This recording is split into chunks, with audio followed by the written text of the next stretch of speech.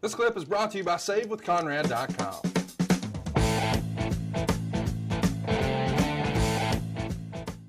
So Dr. Death is going to split his time between uh, Jim Crockett slash the NWA, whatever you want to call it, and All Japan Pro Wrestling.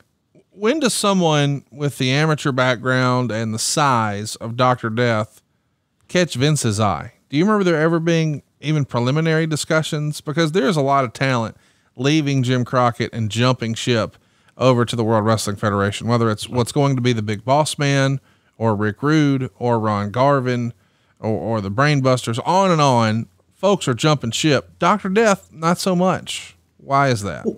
Because Doc had Japan and Doc loved Japan. I see.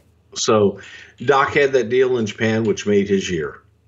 So for him to come back and not have to work a full schedule with Jim Crockett, it's like, eh, yeah, okay, I'll come back and work work some dates here in the states and everything. But his deal, I mean, the bulk of his his year was Japan.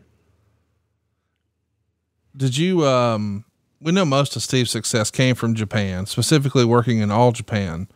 Before Jim Ross came on board with the WWF, I guess in 93, do you remember there ever even being a preliminary discussion? Because I could see how you would have that guy with a mouthpiece. Maybe Bobby Heenan is going to be his mouthpiece. He could have been an opponent for Hogan, right? I think so. I, think that Doc definitely could have. And I know there were attempts when DiBiase came in and we looked at Doc and thought, hey, this may be somebody that could come in. But I don't know that Vince ever really saw a character in him the Doctor Death moniker is one thing, but but what is a Doctor Death? And at the same time, Doc had a look that was scary. I mean, look at him, Doc was the real deal, and I think that we definitely could have done something with him. The, for the same reason that Doc wasn't interested in working for Jim Crockett on a regular basis was the same reason Doc wasn't interested in coming into WWE because he had you know more freedom by going to Japan and then come back and work the dates he wanted to work. So we know JR is going to get hired in 93. Uh, once JR comes in as an announcer, is he bringing up Dr. Death at all? You know, it's funny. JR talks about all the people he brought in. Does JR ever talk about how he came in? Uh, yeah, we've told the story about uh, how. Who'd he call?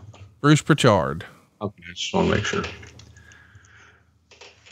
Are you, move you, sooner, move sooner. You, We're a cheater. We went sooner. That we didn't wait for the boom boom. Those boomers, they are losers. Okay, boy, this is going to end in a cage match, a salad steel cage match. Uh, chat me up though. When when Doctor Death comes in, or when JR comes in, does he start campaigning for his old pal Steve Williams? You know, I, I do think that. Uh, JR mentioned Dr. Death because JR has, has always been a big advocate of Dr. Death, and rightfully so. I, fuck, I was a big advocate for Dr. Death. So here was somebody that had not really been tapped and not been put in a prominent position in the States since Mid South and since Bill Watts.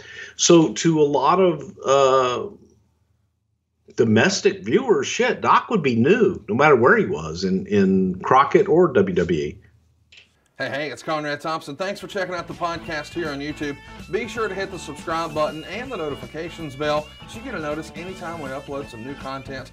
And go save yourself some money right now. If you're in a 30 year loan or you have credit card debt, it's not a matter of if I can save you money, it's a matter of how much.